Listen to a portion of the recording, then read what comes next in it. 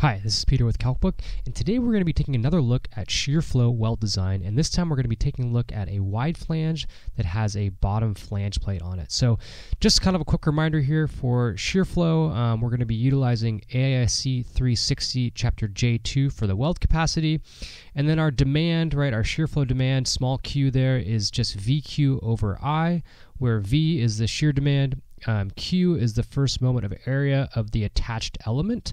Um, and so in this case, it'll be the bottom plate, and we'll take a look at that. And then I is the moment of inertia of the entire section. So, right, if we take our shear force somewhere along that shear diagram, we're going to have a, a, sort of a, a, shear flow diagram that looks like this on a typical wide uh, flange cross section, um, and then our shear as well there. So, um, let's take a look at our problem statement here. Right, so we have a uh, W21 by 50 with some properties there for the depth and the, the uh, flange width and so on. And then we have an attached flange plate at the bottom there that has a fillet weld on each side, uh, welded to the bottom flange of the W21. Uh, the flange plate is 5 inches uh, wide and a half inch thick. Uh, those two variables there are flipped. We'll correct that.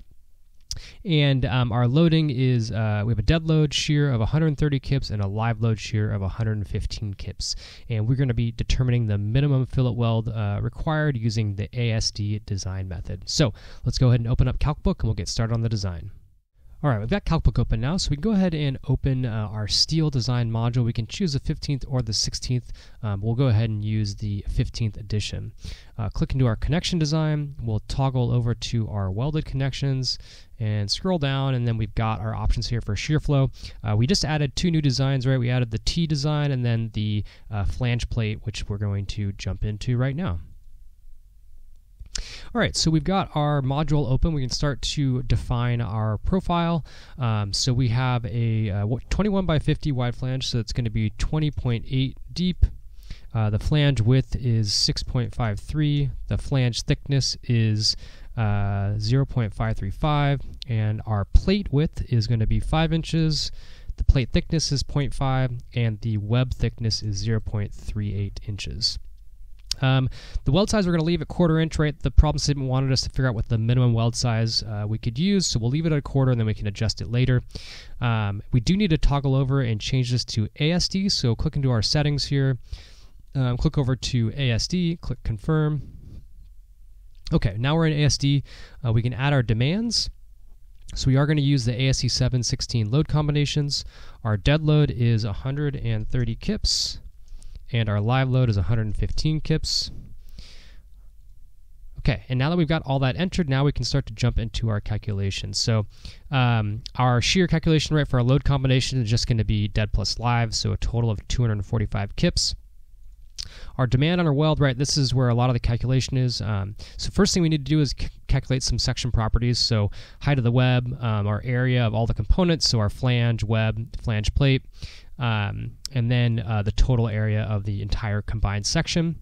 And then we need to calculate the distance to the centroid of the section, right? So we have this plate now attached to the bottom of our wide flange. So from the bottom of this plate, we need to find where the centroid is, right? Which is not the center of the wide flange section. So um, we calculate that, which is basically the area of the uh, individual pieces times their distance to, uh, or their distance from their centroid to the bottom, and then we divide by the total area, and that gets us the distance to the centroid. The next thing we need to do is calculate the first moment of area, and this is of the attached piece. So for the plate that we welded to the bottom, right, we get the area of the plate, and then we multiply that by the distance from its centroid to the centroid of the shape. And that gets us 22.71 inches uh, third to the third. Um, and then what we do is we calculate our moment of inertia of the entire system, right? Now that we have our centroid distance. So we'll run through each of the pieces, and we get a total moment of inertia of about 1200 inches to the fourth. Um, and then from there, we can calculate our weld stress, right? So we have our uh, our weld uh, equation there for small q, VQ over I. So we take our V of 245 kips, our first moment of area Q, big Q, and then divide by our moment of inertia, and we get uh, a required shear uh, per linear inch of 4.63 kips per inch, and that is going to be our, our demand or our required uh, shear demand in the weld. And then when we calculate the capacity of the fillet weld, right, remember that we just have two welds here, so we need to multiply this area of weld by two. Um, and then we go through our normal weld strength capacity calculation for a fillet weld, and we, we have a capacity of 7.42 kips per inch.